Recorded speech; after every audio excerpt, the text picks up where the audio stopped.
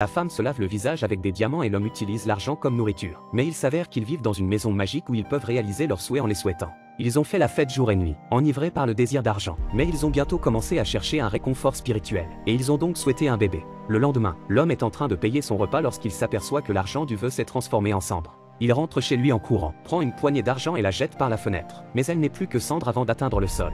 Il a également pris l'autoportrait de Van Gogh et l'a placé sur le pas de la porte, en utilisant la maison comme limite. La partie extérieure du tableau s'est immédiatement transformée en cendre, tandis que la partie intérieure de la maison est restée intacte. De l'autre côté, la femme était sur le point d'emmener son bébé prendre un bain de soleil. Et bientôt l'homme entendit le bébé pleurer et sa femme crier.